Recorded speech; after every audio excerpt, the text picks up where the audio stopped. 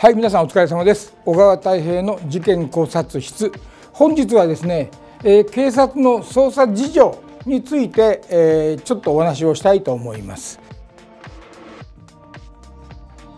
えー、先日ですね六代目山口組三代目行動会の頭である野口組の組長野口正弘組長が逮捕されて釈放されますよ。釈放されたことによって伊勢崎の事件がどのように進展していくかという動向に注視していきたいという話の動画を上げさせていただきましたその時にですねコメント欄からある方がですね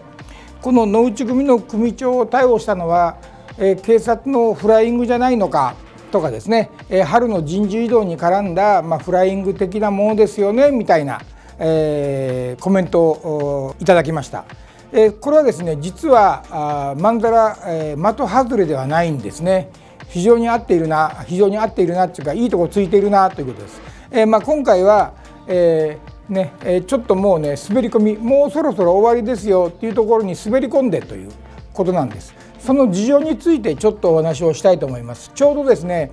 いい例が2件ありました。ちょっとね、まあ、名前は書いてませんけどももう名前書かなくてもね野口組の組長っていや分かってしまうんですけども6代目山口組3代目行動会の頭野口組の組長野口正弘組長が今年の2月20日土曜日に逮捕されました。逮捕の、えー、罪名は有印私文書偽造同行使5年以下の懲役です。内容的にはですね犯罪事実は、えー、亡くなった方の名義の車を車検受けようとしたということです。ね、ただ当然ですけどもそんなことを野内組の組長が知る余地もなくですね、えー、3月12日、えー、延長交流いっぱいで釈放になっています。ね、これについてもですね、えー、なんでこの時期にと思う方がいるかと思うんですけどもやはりね私以前話しましたけども人物金というねことが常に警察は頭にあります人幹部の逮捕物ですね、えー、まあ押収する、ね、お金。資金源、ね、というようなことでいるんですけども。まず幹部の逮捕、え幹部の逮捕というのは以前も言いましたけども、えー、本来は直参以上。ただ直参以上簡単に捕まるわけでもなくですね。やはり幹部と呼ばれるのは、えー、頭補佐以上を捕まえましょう。とね。えー、捕まえることによって、えー、暴力団組織の力を弱めようというのが目的です。ね、ただ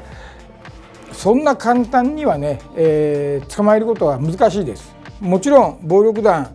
ねえー、全員が犯罪を犯しているわけではありません。ね、組織で動いていますのでそうでないものもたくさんいるわけですね。特に幹部になれば当然ですけども気をつけています。ね、そういう中、えー、情報を取ってですね何か逮捕できるネタはないのかということでまあねあのよくあるのがね、えー、ゴルフ場に行って反射事項っていうところに反射ではありませんってチェックしてゴルフしたからといってね、えー、詐欺だって逮捕されたりあとスマートフォンのこう、えー、毎月の割引を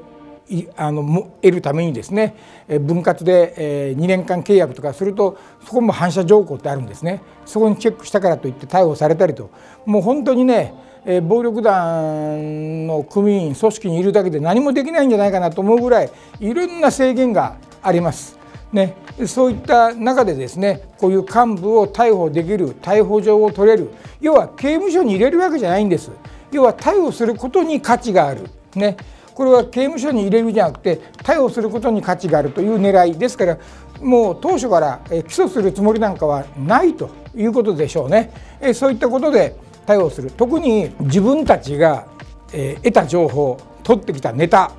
これはねやはり移動したらもう移動した時に引き継ぎで置いてくるとですね引き継がれた方も困るんですね。このネタって移動した何々課長の何々部長の何々班長のネタだよねと。それ自分がいる時にやっていってくださいよと。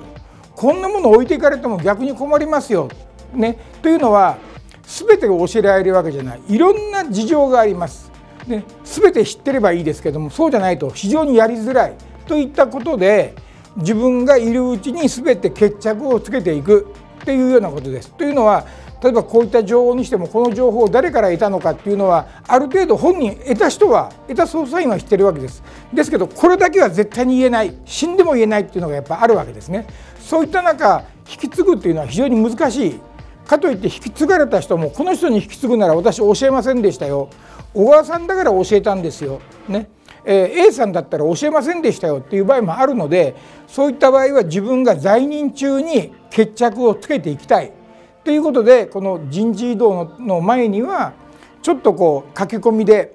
事件がバタバタっとこう解決したりですね動いたりすることが多いんです。えー、これも皆さんね、えー、記憶に新しいというのは最近逮捕されたから記憶にあると思うんですけども、えー、2019年1月17まあ2年ちょっと前ですね。2年2ヶ月前の話になります、えー、神奈川県の川崎市川崎区大島2丁目、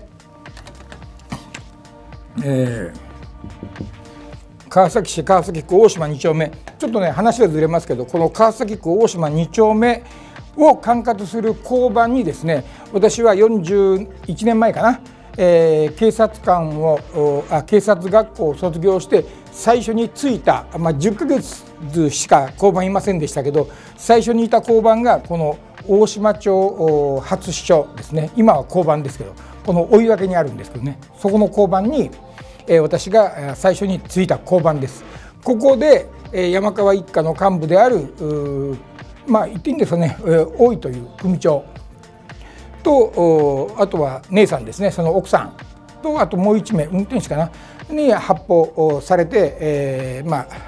されたという事件がありました。その件については今年2021年3月にですね住吉会の幹部組長が逮捕されています。まあ、これもですね先ほど話したと同じように人事異動に伴うまあ、動きなのかなというふうに思います。これ警察の人事異動ですね。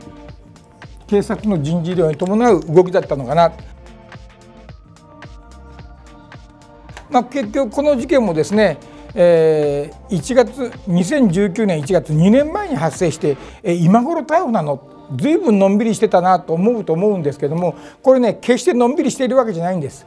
ね、やはりね、えー、人をこうね、え、拳銃を使用してとなるとそんな簡単にはね逮捕状が取れません。もちろんこの暴力団関係者の中ね、あの私のこの YouTube のコメント欄の中だけでもですねあれは誰がやったこれは誰がやったっていう話が出るぐらいですから当然警察もいろいろ分かって今回今回っていうかその時も分かっていたはずなんです。ただ YouTube のコメントで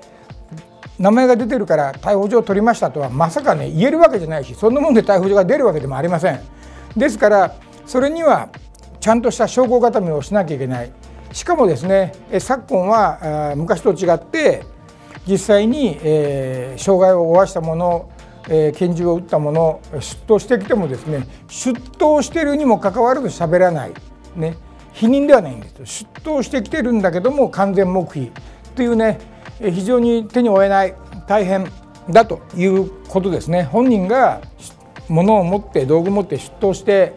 えー、認めて、えー、いついつ何時頃どこそこにっていうと以前と違って今は防犯カメラがいろんなところにあるから裏付けも非常に取りやすい。本人がこういうふうに話してるけどそれは信憑性があるということでね、えー、起訴もできるんですけどもそういったふうにはなかなかいかないということで非常に時間をかけて今回やったのかな。ただ今回も、えー、逮捕したから100%起訴になるのかな100%有罪かどうかっていうのはまだ分かりませんこれから取り調べによってですねえこれが分かっていく。ね、本人、まあ、喋っているのか喋っていないのか分かりませんけどもなかなかその辺りは難しい。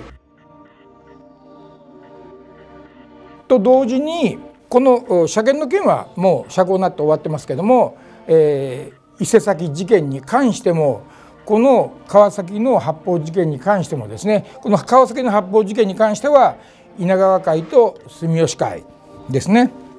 川崎の発砲事件に関しては住吉会と稲川会。で伊勢崎に関しては六代目山口組と対というかですね稲川会の話。これは警察対警察ではなくて組織同士のまあ手打ちだとかそういう話し合いが当然あのなされるわけです。ですから今はね本当に非常にこの関東がまあ、あの悪い意味で関東が暑いなという感じがしていますね。いつどこで、えー、ドンパチが起きるかもわからないし何か大きい、ね、今本当にねくすぶっている状態ですかねただ煙は見えているなみたいな感じはしています。それがいつ爆発するか、ね、それとも沈静化してまた元の通り、えー、いくのかな。ただ基本的にはですねこの六代目山口組の行動会の会長、ね、トップである竹内の親分と稲川会の会長である、えー、内堀会長は五分の兄弟分です。ね、そういったことを考えればですね、えー、そんなに、えー、もしね何かまだまだああるならとっくに起きていると思います。ね、